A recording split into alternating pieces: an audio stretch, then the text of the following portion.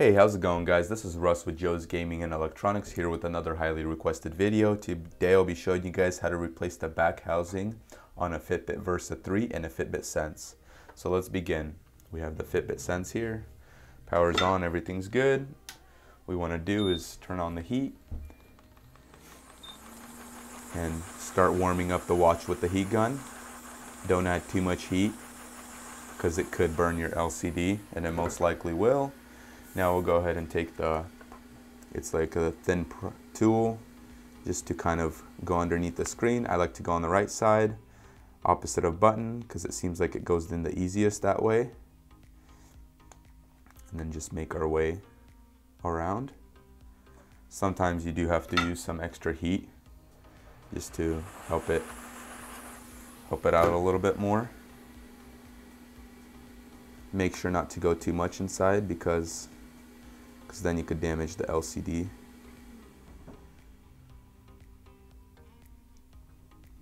Some, some parts are a little bit more tough to kind of go through, but now I like to go back to the button side because that's where I can actually pry up.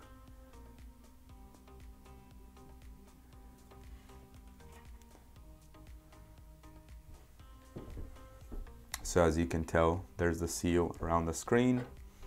And what we're gonna do is take our two T2 screwdriver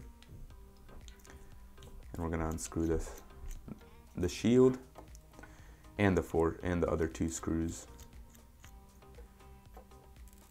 Take off the shield, pull off the screen, make sure just to pry up. Don't pull it all the way up, just slightly go. And then uh, what I like to do is I like to unhook the ribbons. Just use this plastic pry tool. It's not going to damage any components. So what we're going to do is just unplug everything, set it back down, take the T2 screwdriver, unscrew the rest of the two screws.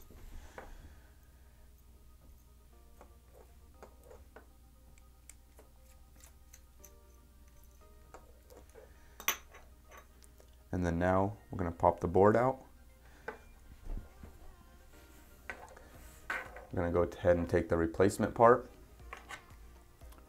put everything back together, the board, the battery, all the ribbons back on, and I wouldn't turn on the watch until I actually plug in all the ribbons.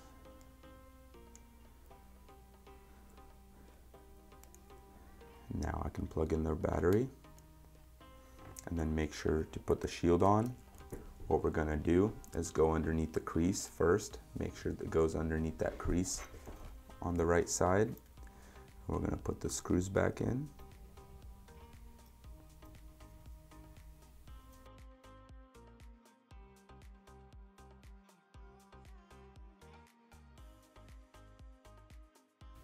And now what we're gonna do is take the 704 glue and we're gonna work our way around.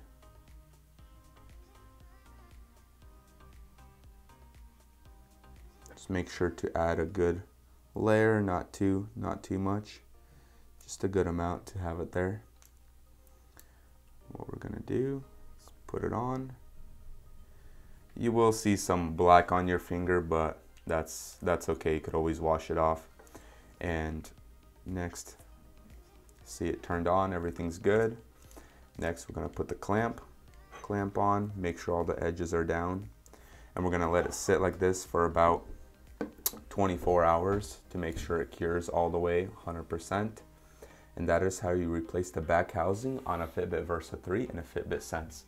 Thanks for watching guys. We'll see you in the next one.